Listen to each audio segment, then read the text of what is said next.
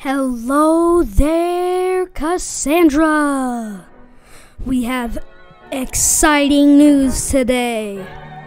You were probably worried about the Roughnecks not making the playoffs. But we have exciting news for you today because your Houston Roughnecks won in overtime today against the San Antonio Brahmas.